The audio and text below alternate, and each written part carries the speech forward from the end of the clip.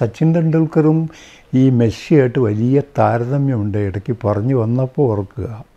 വലിയ താരതമ്യം എന്ന് പറഞ്ഞാൽ ഈ രണ്ടാളുകളും രാജ്യത്തിന് വേണ്ടി വഹിച്ച സമ്മർദ്ദം അത്രയധികമാണ്.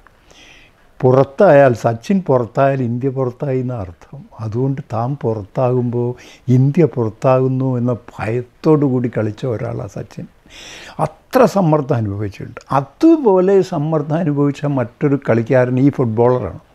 അർജന്റീന അദ്ദേഹത്തിന് വേണ്ടി അദ്ദേഹത്തിലൂടെ ജയിക്കുമെന്ന് കരുതിയിരിക്കുമ്പോഴാണ് അദ്ദേഹം പുറത്താകുകയല്ല അദ്ദേഹത്തിന്റെ കയ്യിലെ അബദ്ധം കൊണ്ട് അല്ലേ? കഴിഞ്ഞതിന് മുമ്പിലത്തെ ഫുട്ബോൾ ഫൈനലിൽ സംഭവിച്ചത് നമുക്കറിയാം.